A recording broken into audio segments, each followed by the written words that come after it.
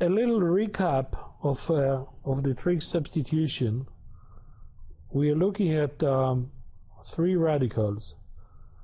And I'm going to rewrite the table, but I'm going to augment it a little bit. Give you some more information. So we look at the radical, and there are three radicals.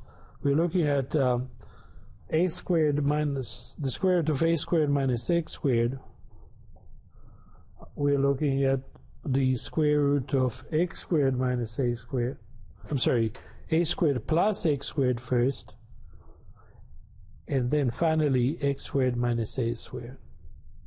Okay, so those are the three radicals. The substitution will be the following.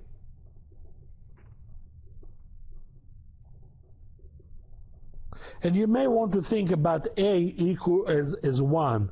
So we're looking at the square root of 1 minus x squared. x squared has to be uh, the absolute value of x has to be less than 1, and a suitable function that does it for us is the, is the sine. So we'll substitute x with a times sine theta. And the domain that we'll be using, we'll use the first quadrant for positive values and the fourth quadrant for negative values. So we let theta go from negative pi over 2 to positive pi over 2.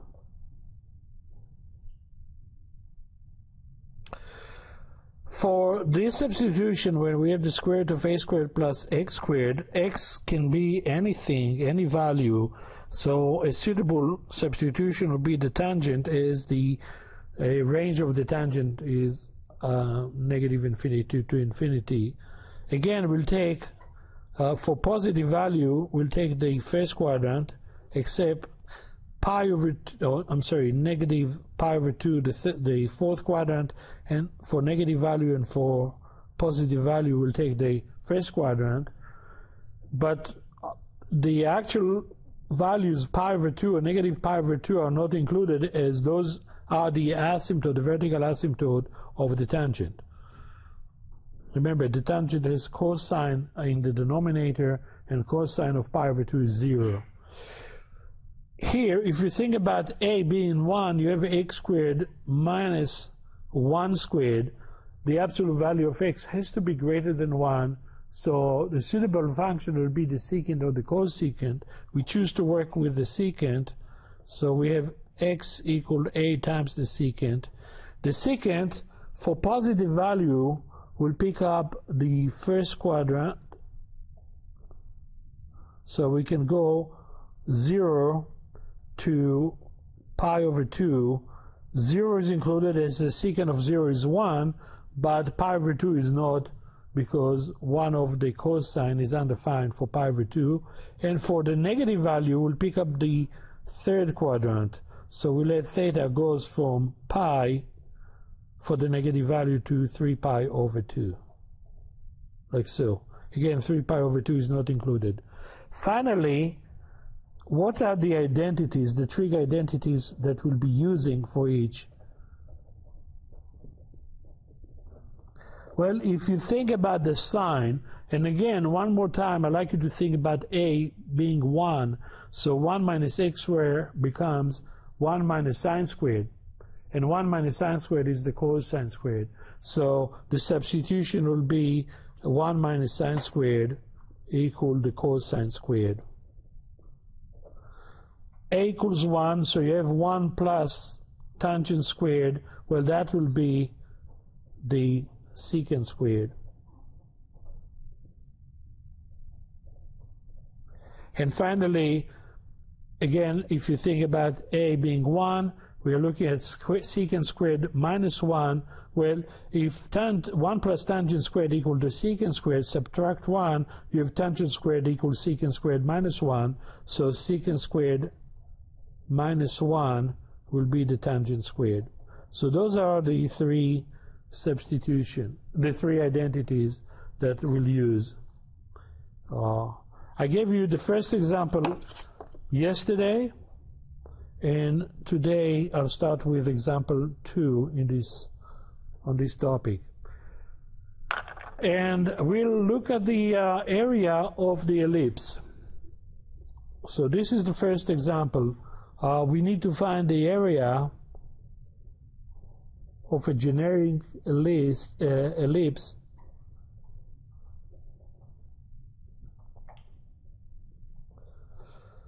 This is an ellipse whose center is at the origin, and the general form will be x squared over a squared plus y squared over b squared equals 1.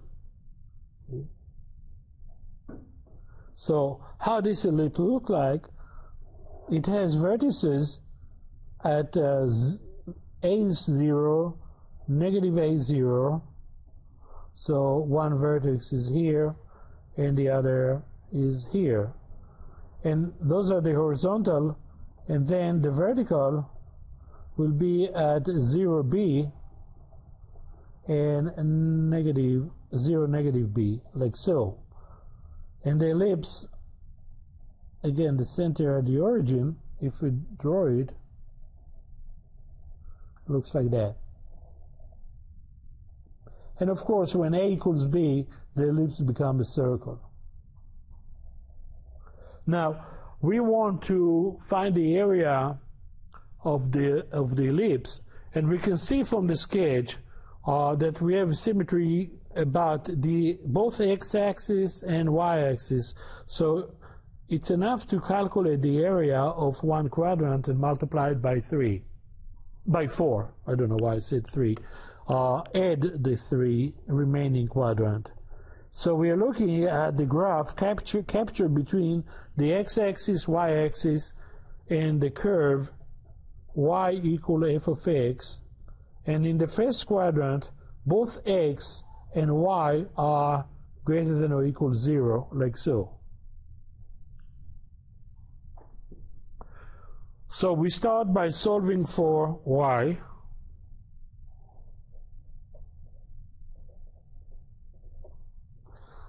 we're looking here, so you, uh, well, let's start with x squared over y over a squared plus y squared over b squared equals 1, and this leads to uh, y squared over b squared equals 1 minus x squared over a squared, and I'm going to write it uh, using common denominators, so it would be a squared minus x squared over a squared, like so. And finally, to get the y, this is still equal to y squared over b squared.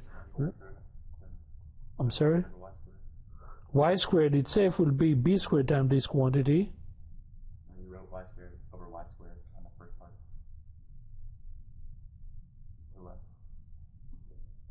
Thank you. y squared over b squared. and then multiply by b squared. So we end up having b squared over a squared times the quantity a squared minus x squared like so. And finally, y squared, y by itself will be, since we are looking at both y is positive, we take just the plus part. So the square root of b squared over a squared is simply b over a, and we have the radical.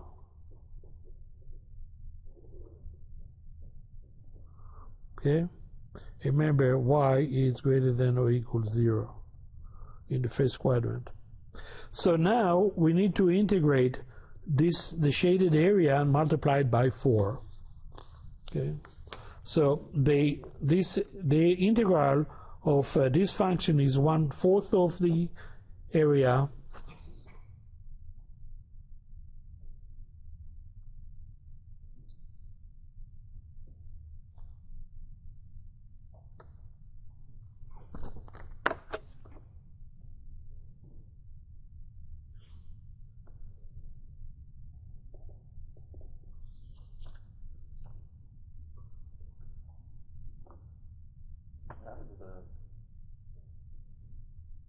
Sorry? Oh, never mind. You just changed the right side, didn't you? I just going to see. Never mind. I see. Yeah, I, I keep the right side as the last one that uh, so. technology. So what is the area? Well, the area uh, the area of the ellipse equals four times uh, the area of of uh, of the first quadrant.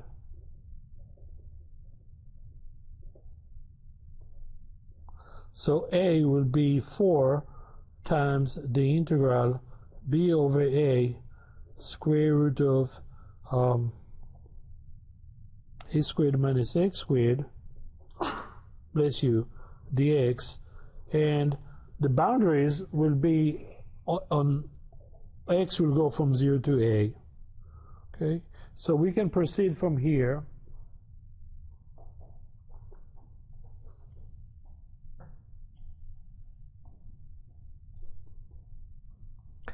So um, what we do is just b over a are numbers.